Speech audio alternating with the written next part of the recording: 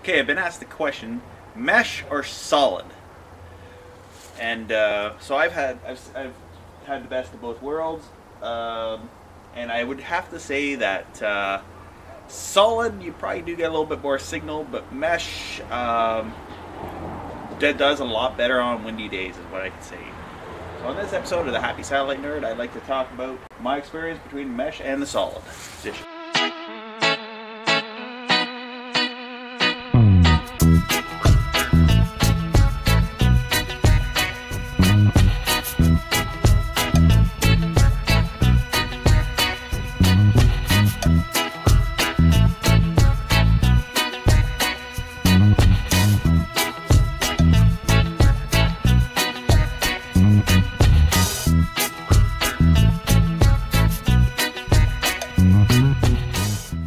Okay.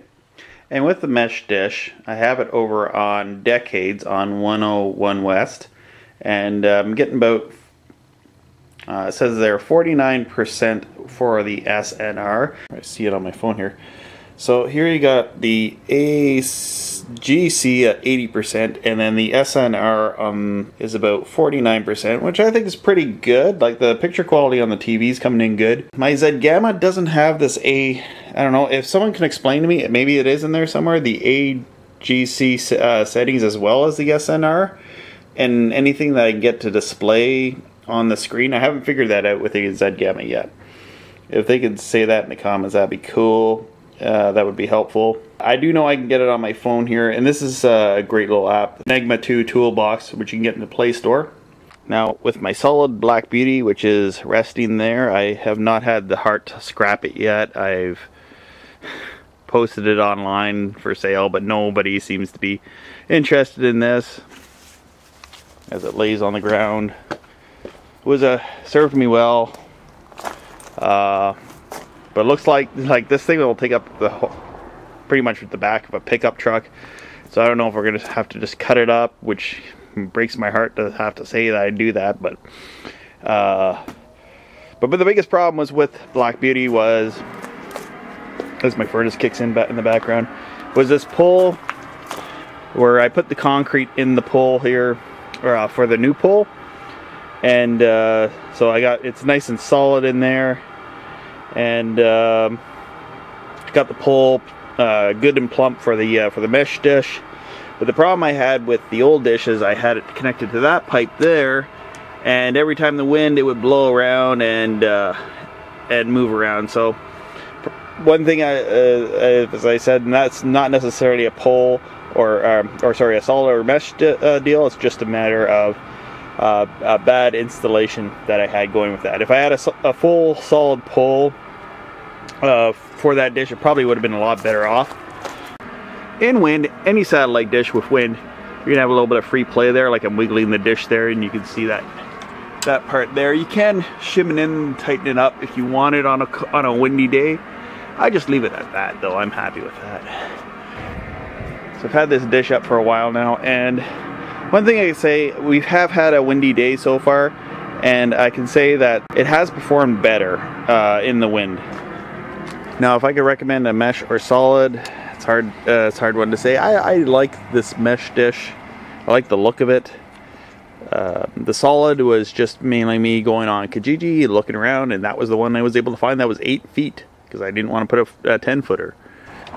So one things I, uh, certain things I really like about this dish is that LNB holder was very easy to adjust and get things get things adjusted. I have my LNB actually sticking out quite a bit there to get the good signal for the DVB uh, S2 stuff. I was able to get the S um, DVB-S stuff, no problem. The S2 stuff, I had to fine tune the LNB to get it. And one thing I've been able to do a lot better with this uh, mesh dish that I've that from TEK 2000 is I've been able to adjust this pull mount. This pull mount I was able to do a lot more and better with. The old pull mount, if you look at that part there, that part was, uh, it's just so rust welded I don't even think I, I would, should have even bothered moving it. So overall, I think the, um, the mesh dish can does a pretty decent job. First, I was I was reading lower signal than what I was getting with my um, a solid dish, but uh, after getting it tuned up a bit, I've found that I've been getting just as good signal uh, that I was getting with my uh, 8 foot solid. Created a little raincoat for my DiSEqC switch. Set that there. So, so far with my setup, I've been able to get uh, 91 to 107 west, and I haven't been able to get the, uh, on the arc, I've been able to get them with the dish, but I haven't been able to get uh, 131 to all the way to um, 55 west is where I was able to get before with my um, my solid dish. But that uh, that's just a matter of me getting it adjusted just right. That's either uh, I don't know if it's the LNB skew or changing the azimuth uh, on the pole mount, which I have been messing around with. But then I tend to lose 91 a bit so I, I think I just need to lock on to 87, some of the transponders in 87, and just work my way out from that so I can get further along on the more east and western parts of the arc. So I'd like to know what are your if you've uh, set up used the C-band dish and had a solid or a mesh dish, if you could tell me your experience uh, with yours and how has it worked out for you. With this one, it uh, I'm pretty much getting uh, very close to the same signal because I'm using the same size of a dish. But I'd like to hear uh, your comments. What would be better? A lot of the experts say that a solid is better, but I found that I've been able to get pretty close, uh, if not the same results with the mesh. One really cool thing about this dish is if you stand like right in the right spot, you hear your voice bounce back at you with this thing. It's really cool.